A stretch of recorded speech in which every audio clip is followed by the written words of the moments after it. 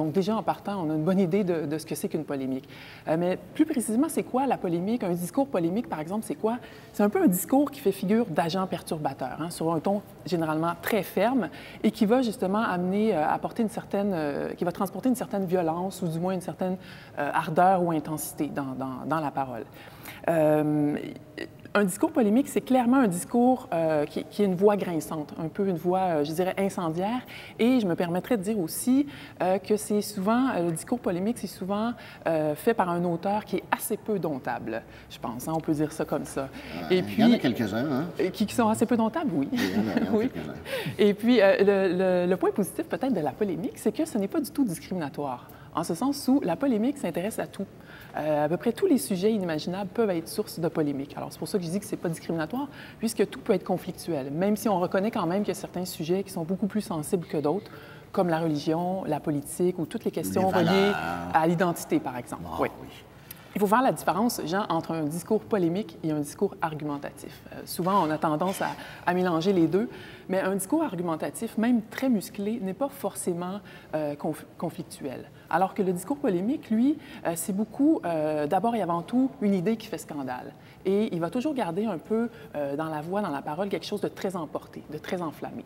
Et il y a quand même des gens qui vont dire que malgré tout, le discours polémique peut être une bonne affaire, en ce sens où il peut amener un débat, une réflexion qui va faire avancer euh, la société. Mais il y en a d'autres qui vont dire au contraire, le, discours polémique, c'est beaucoup plus, ça amène beaucoup plus une situation de combat que de débat. Et le discours polémique va être beaucoup plus pour ces gens-là un texte euh, d'action, d'action protestataire, beaucoup plus qu'un texte d'opinion. Et c'est pour ça aussi que beaucoup vont dire que finalement, le discours polémique va beaucoup plus servir à dénoncer qu'à persuader. Alors, Parfois, il faut commencer par dénoncer avant oui, de, tout à fait, pour allumer la mèche en disant regardez, là, il se passe quelque chose. Oui, en effet. Hein? Oui. je dis ça comme ça. Non, non, je prêche pour ma paroisse. C'est vrai, tu as raison.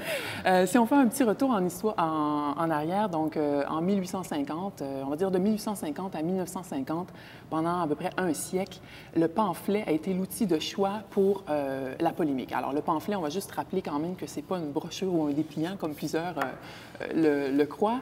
donc, le pamphlet, c'est un style littéraire qui est associé à une littérature de combat. Mm. Et donc, pendant ce siècle-là, surtout, je dirais, beaucoup d'écrivains, de journalistes et d'intellectuels, donc, ont écrit des courts textes très virulents, justement, pour, euh, et très habiles avec la langue, euh, pour justement dénoncer, euh, critiquer vertement, pour un peu renverser un certain ordre établi. En fait, ce qu'on fait avec le, le, pamphlet, c'est vraiment d'exprimer une charge contre quelque chose ou, ou quelqu'un.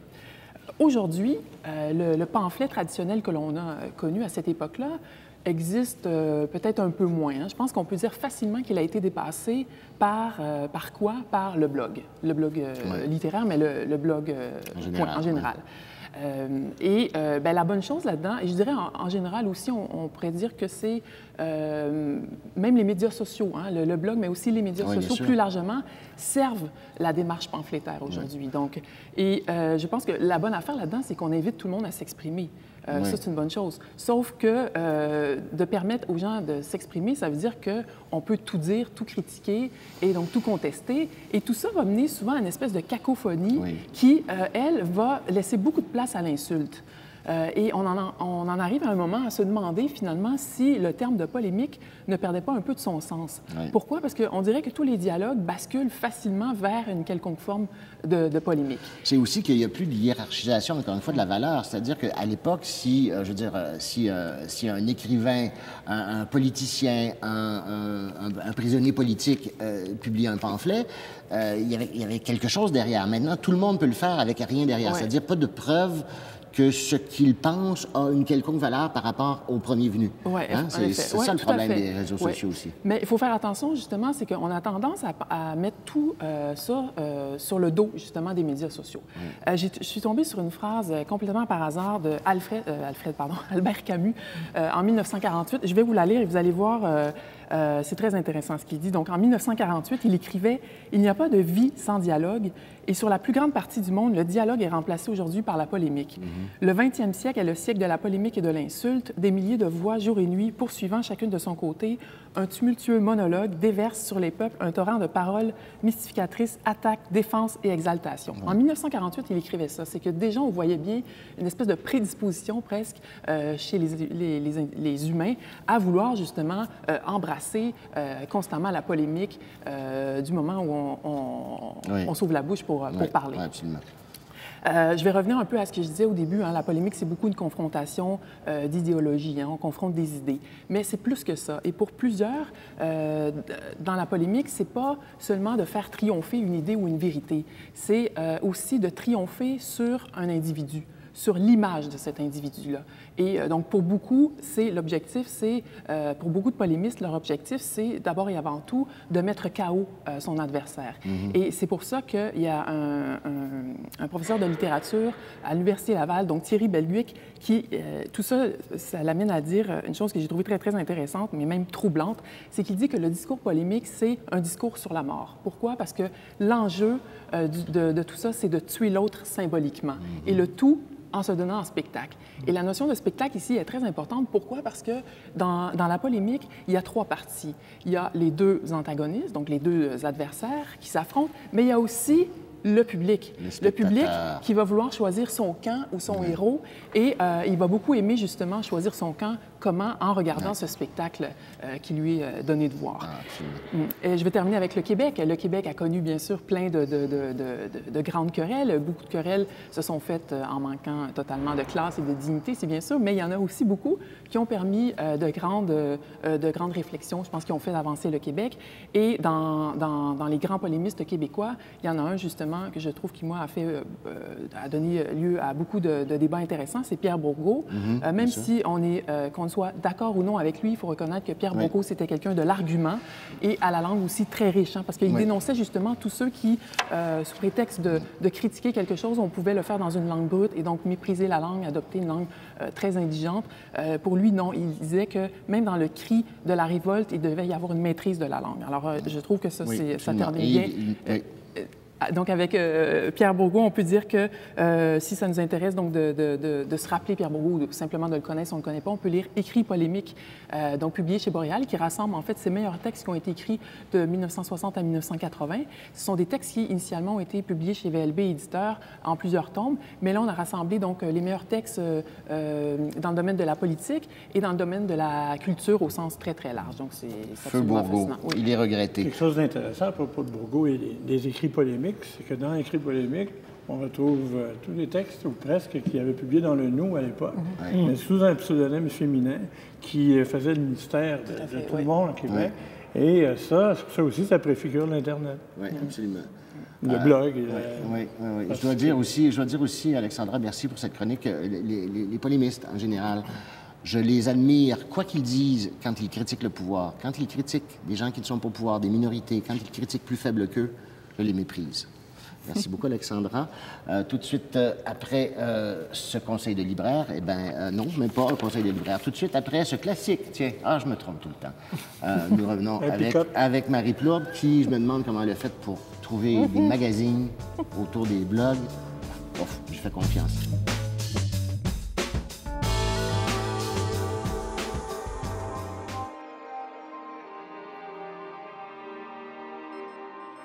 Familial. La mère fait du tricot, le fils fait la guerre. Elle trouve ça tout naturel, la mère. Et le père, qu'est-ce qu'il fait, le père? Il fait des affaires. Sa femme fait du tricot, son fils la guerre, lui des affaires. Il trouve ça tout naturel, le père. Et le fils, et le fils, qu'est-ce qu'il trouve, le fils? Il ne trouve rien, absolument rien, le fils. Le fils, sa mère fait du tricot, son père des affaires, lui la guerre. Quand il aura fini la guerre, il fera des affaires avec son père. La guerre continue, la mère continue, elle tricote. Le père continue, il fait des affaires. Le fils est tué, il ne continue plus. Le père et la mère vont au cimetière, ils trouvent ça naturel, le père et la mère. La vie continue, la vie avec le tricot, la guerre, les affaires. Les affaires, la guerre, le tricot, la guerre. Les affaires, les affaires et les affaires. La vie avec le cimetière. Jacques Prévert est un poète et scénariste français né en 1900 et mort en 1977. Son premier recueil de poésie, Paroles, paraît en 1946 au lendemain de la Seconde Guerre mondiale. C'est immédiatement un succès populaire formidable. Avec ses jeux de mots et sa simplicité d'écriture, Prévert est, pour bien des poètes contemporains, l'arbre qui cache la forêt. Mais pour des générations de jeunes, Parole a été la porte d'entrée vers la poésie. Alors, ouvrez la porte avec Parole, mais ne restez pas sur le seuil. Fête foraine.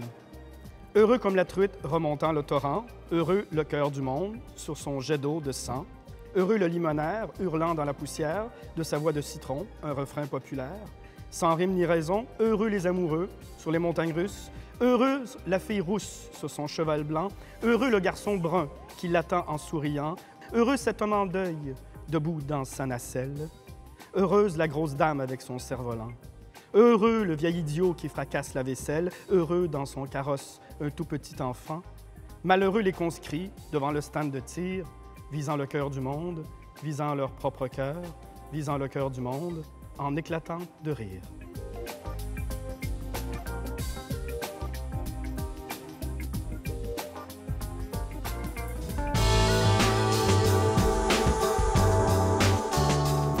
Voici Marie Plourde, notre magasineuse de magazine. Qu'est-ce que tu as fait pour Marie sur les blogs littéraires? Oui. Ta vois-tu ma main contrariée? Oui, Ouais. je suis désolé. Hein? j'ai dû étirer le thème cette semaine, mais bon, j'ai décidé d'aller, de prendre l'angle l'écriture et les technologies. Fait que c'est quand même, Quand même. c'est- c'est pas loin, c'est pas trop loin. Euh, je commence avec le magazine euh, Cerveau et Psycho. Il y a un article bien intéressant sur écrire à la main ou au clavier. Parce qu'on sait que de plus en plus, euh, les écoles vont vers les claviers. On parle même, il y a certaines écoles qui ont carrément abandonné euh, l'écriture cursive. Mais c'est pas sans répercussion. On a réalisé euh, à travers différentes enquêtes, puis ça fait quand même un moment qu'on étudiait le phénomène, que l'apprentissage avec les lettres imprimées, c'était plus rapide sur le coup. Mais ça n'a pas les mêmes vertus que l'apprentissage avec l'écriture manuelle. L'écriture manuelle, on a une meilleure mémoire de ce qu'on apprend. Il y a une relation aussi, ça a vraiment des bénéfices sur le physique et sur les, euh, les fonctions cognitives, écrire à la main. Euh, comme on dit que écrire à la main, ça va travailler la motricité fine d'un enfant, ça va l'aider à, être, à avoir plus de dextérité en grandissant. Puis aussi, on a remarqué que... euh, Apprendre à écrire et avoir une relation avec les mots se faisait plus fortement avec l'écriture à la main. Christian, tu as l'air euh, parfaitement d'accord avec ça? Absolument. Oui. regarde avec quoi j'écris. Hein.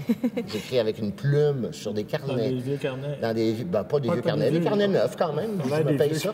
Mais, et, et Mais c'est ça devient, incroyable. ça c'est devient incroyable la quasiment vintage là, de faire ça en ce Oui, moment. absolument. Parce que là, les-. Mes enfants ne savent pas écrire euh, en lettres attachées. Ouais. Euh, je trouve ça... Euh, je, je me posais la question hier, je me demandais si on apprenait encore ça, et puis on me dit que non. Non, la, la lettre attachée, ça, ça a plus- disparu. c'est- c'est- C'est en train de c'est- disparaître.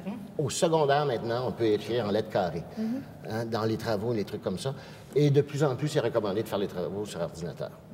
C'est pour ça qu'on a, Quelque chose c'est pour ça disparaît. qu'on a des accents sur les majuscules, j'imagine. Euh, oui, mais, euh, oui, mais tu sais, les accents circonflexes dans la nouvelle orthographe, c'est plus, euh, plus utile, hein, c'est plus nécessaire. Mais ce que j'ai trouvé intéressant aussi, c'est quand on parle de la relation écriture, euh, écriture manuelle et des œuvres. On dit qu'écrire un texte, euh, on peut écrire des textes plus complets. L'homme écrit des textes plus complexes et plus longs avec l'écriture manuelle que sur l'écriture que l'écriture avec les ordinateurs. Donc, on dit probablement que de grandes œuvres, de grandes œuvres n'auraient pas vu le jour si ça avait été, euh, on parle de Victor Hugo et de tout ça, si ça avait été juste des ordinateurs. Ah, Là, il y a une je trouve qu'il y a une réflexion. C'est euh, mais fais juste penser aux lettres d'amour qu'on s'écrit. Tu sais, À cette heure, on s'envoie des textos, des petits courriels, des trucs comme ça. Mais la belle longue lettre d'amour où t'étales tes, tes- tes émotions, tes Ouais. tripes, là, on- on- Oui. c'est presque en voie Ça se fait dans un temps long, ça. Et ce que- Ouais. ce que- écrire à la main, c'est un temps long. Et aussi, c'est de prendre le temps, puisqu'on ne veut pas faire trop de ratures. Donc, on, on réfléchit Oui. avant d'écrire un Et mot. c'est On a exactement droit à plus que 140 caractères. Et on a droit à plus que 140 caractères, absolument. Donc, plus de profondeur. Oui.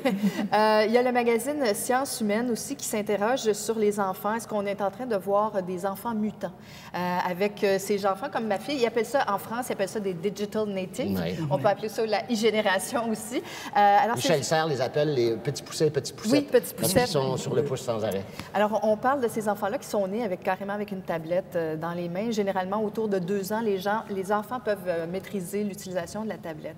Il y a des, des côtés qui sont intéressants. Euh, il n'y a pas que du noir. C'est sûr qu'on dit que euh, ça peut limiter d'une certaine façon les, connaissances pour les enfants parce qu'on a une connaissance superficielle. On appelle ça les connaissances horizontales. Avec les hyperliens, tout ça, ça nous permet de, de- de nous promener d'un sujet à l'autre, mais on approfondit rarement un sujet. Donc ça, c'est un peu, un petit peu dérangeant, particulièrement chez les petits-enfants, parce que ça peut alimenter certains enfants qui auraient des problèmes, des tendances à avoir des problèmes, des déficits d'attention. Mais euh, n'est pas, ils n'ont pas tout faux. Ils disent que, par exemple, ça favorise la mixité sociale. Et j'ai trouvé ça bien intéressant parce qu'avec les réseaux sociaux, à travers les réseaux sociaux, à travers cette espèce de langage-là, il n'y a pas de fracture entre les riches et les pauvres, ni entre les gars et les filles, ni entre les experts et les novices. Il y a même des grands réseaux d'entraide qui, sont, euh, qui, se développent tranquillement. Alors, c'est sûr qu'il faut encadrer les enfants, c'est ce, ce que tout le monde dit euh, à travers ça. Mais dans ce magazine-là, j'ai trouvé ça bien intéressant parce qu'on fait le tour de tous les sujets qui peuvent préoccuper les parents. En tant que maman de loup. Oui, oui mais, en tant que, que parent de nouvelle génération, c'est une mission ah, ben, sociale. Dans loup, elle s'appelle Nouvelle Génération. Non, mais il y a des, plein d'enfants comme ça. La, fameuse Digital Native, on est là pour les encadrer. Alors, on fait le tour, que ce soit la pornographie et l'Internet, les jeux de rôle, les impacts des écrans. Euh, bref, euh, vraiment bien, intéressant. Et je veux terminer sur ce magazine que j'ai bien aimé parce qu'il y a une, une réflexion sur la littérature et Amazon, l'effet Amazon sur la littérature en, général, ça a été assez, euh, ça a été comme une bombe dans le milieu littéraire quand c'est arrivé. C'est une, une, bombe à conflagration lente Parce et à retardement parce qu'on n'en saisit pas tous les effets dévastateurs encore. Et là, ça prend, on voit l'ampleur de la chose, mais les tentacules que, que cette compagnie-là a eu, euh, a toujours plutôt. Alors, on a parlé d'une mort euh, lente mais inexorable des libraires indépendants pendant un certain moment, particulièrement aux États-Unis, on demande des chiffres, on dit qu'on est passé de 4 000 à 1 900 euh, libraires indépendants. Euh, mais il y a un petit peu d'espoir au, bout du tunnel parce qu'on a remarqué que le Amazon a tué les grandes chaînes qui, elles, avaient tué les petites librairies. Donc, on a un retour du libraire indépendant. Et, euh, du petit. Du, petit, oui. Et du rapport personnel qu'on peut avoir. On parlait à Pascal, Pascal tout à l'heure. Ce rapport-là, on ne peut pas l'avoir sur Amazon. On peut pas. On a beau avoir des algorithmes de la mort qui tuent, mais euh, ça, ça, arrivera jamais. Tu n'auras jamais l'état d'âme que tu veux retrouver quand tu vas voir ton libraire, puis que la relation que tu vas avoir avec ton livre et avec ton libraire. Donc, il y a ça. Mais les tabarnouches, ils finissent. Eux autres, ils disent OK, euh, euh, ils ont vu le retour du libraire indépendant, mais ils ont dit c'est pas vrai qu'on va se faire supplanter par le livre puis par les librairies.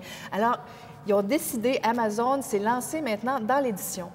Mais c'est le cheval de Troie. C'est vraiment le cheval de Troie parce qu'ils ils veulent vraiment tout bousiller. Ils ont offert récemment, pour, juste pour les mémoires, il n'y avait rien d'écrit, juste pour l'idée des mémoires à l'auteur